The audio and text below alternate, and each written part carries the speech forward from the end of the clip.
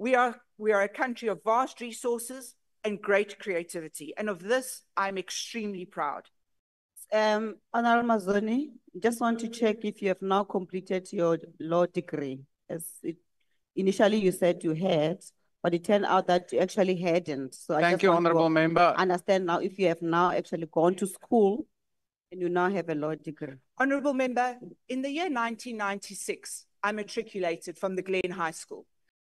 I have not completed a law degree, neither have I ever said that I've completed a law degree. I am, however, now in my fourth term of parliament, and please believe me when I tell you, I am a master in manners, and you would do very well.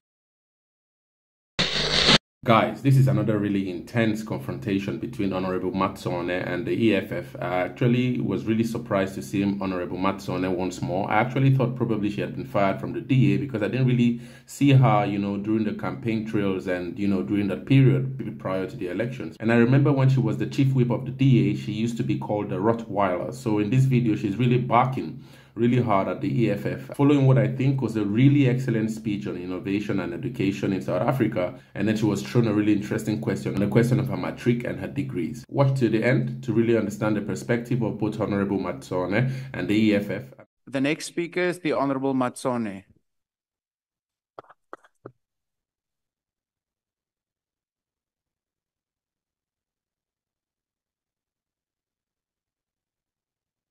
Mazzone House Chairperson Horn, Minister Nzimande, fellow members of Parliament. Science, technology, and innovation are now commonly accepted to be the cornerstones of the majority of the world's economy. They are dominant forces both in modern society and in the international economic development sphere. If this area is strengthened the way it should be, the results will encourage an open, transparent system of government throughout the world. In fact, so important is this field that the African Union Science and Technology Innovation Strategy for Africa 2024, named On the Wings of Innovation, places science, technology, and innovation at the epicenter of Africa's socio-economic development and growth. Human capital is absolutely essential to the development of a national system of innovation that is globally competitive and responsive to the South African developmental needs. This department must ensure that it provides support through the granting of bursaries, scholarships, sponsoring internships, and funding emerging and established researchers. South Africa is a nation of great innovators from our world famous creepy crawly pool cleaner, Pratley Putty, which just for your information is the only South African substance on the moon, to being the advanced surgical country that we are, including being the country to conduct the first successful human transplant, to the country emerging as a leader in solar power and renewable energy innovation. Technologies such as artificial intelligence, robotics, big data analytics, and quantum computing now have the potential to completely change how we operate the economy and South Africa's research and innovation in these fields that could play an instrumental role in the growth of our nations. We must prepare ourselves and our workplaces for the fundamental changes and challenges these technologies will bring them. Minister, we must never find ourselves blindsided by a further lack of employment due to a lack of knowledge as to how technology operates and how best to use it to our abilities and to improve our workforce. We must be acutely aware of the possible misuse of emerging technologies. Now, while AI has the ability to change and improve the way we work, we must also ensure that there are regulations in place to ensure that there is not an abuse of these technologies, that academic progress is not compromised due to such abuse. Children must still enjoy a comprehensive, comprehensive education, and we must never become dependent on AI to take over the human mind and the capacity for understanding, innovation, creation, imagination, and most importantly, cultural knowledge. Innovation results in productivity growth that brings vast benefits to the large entirety of our country. As productivity rises, so will wages and businesses will become more profitable. This will enable them to invest more and to hire more employees. The full benefit of innovation can be re realized, and it will be necessary to spread it across the economy to equally benefit companies in different sectors and different sizes. Experts call this process diffusion of innovation. These are various measures to promote innovation, including increasing spending on research and development, known as R&D, and investing in education, as well as enabling startup businesses. Companies can facilitate innovation by investing in their staff and conducting their own R&D. It is said that if you give a man a fish, you feed him for a day. If you teach a man to fish, you'll feed him for a lifetime. That's how the saying goes.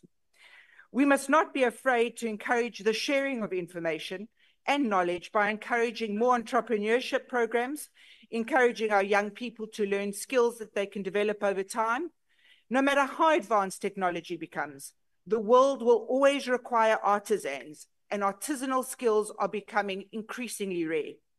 We now admire work done by artisans, and we need, Minister, to find that balance between large scale production and artisanal excellence. There are some things that you can only learn on the job. Young people should be excited about these opportunities. And certainly when it comes to small and medium enterprises, this is a sure way to grow entities and promote growth and profitability. Minister, never before have the prospects been greater. The potential more accessible and the need for the urgent advancement in the field of science, technology, and innovation greater. We are, we are a country of vast resources and great creativity. And of this, I'm extremely proud. Let us work together to advance this field, to grow our economy, and most importantly, to Honourable empower Member. our people. I thank you. Honor, well, honourable member, please just take your seat for a moment. Oh, were you done? Honourable Mahotwe, why are you rising? No, thank you. Chair. I just wanted to find out if the speaker on the podium can take a question on whether she has now completed her degree on law or. No, uh, honourable here member, you know the rules very well. You first inquire whether the member is prepared to take a question and then you pose the question. Honourable Ma- Mazzone, uh, are you prepared to take a question? Absolutely. Thank you, House Chairperson Horn. Honourable Mahotwe, will you re- now phrase your question? Um, Honorable Mazzone, just want to check if you have now completed your law degree. As it, initially you said you had, but it turned out that you actually hadn't. So I Thank just you, want honourable member. Understand now if you have now actually gone to school and you now have a law degree. Honourable Member, in the year 1996, I matriculated from the Glen High School.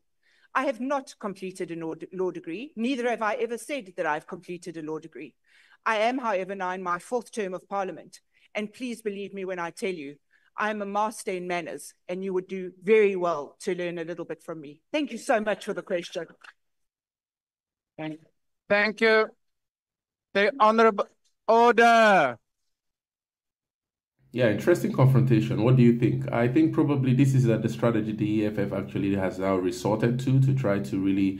I don't know anyway. Uh, many people actually think that this was an honest question though, but um, uh, Honorable Mazzone didn't really take it lightly, uh, coming from the perspective of her mannerisms. She, I remember she during the previous uh, parliamentary debate, she was really, uh, you know, she really went off the hook when she tried to blast the ANC and you know President Ramaphosa and many policies of the ANC.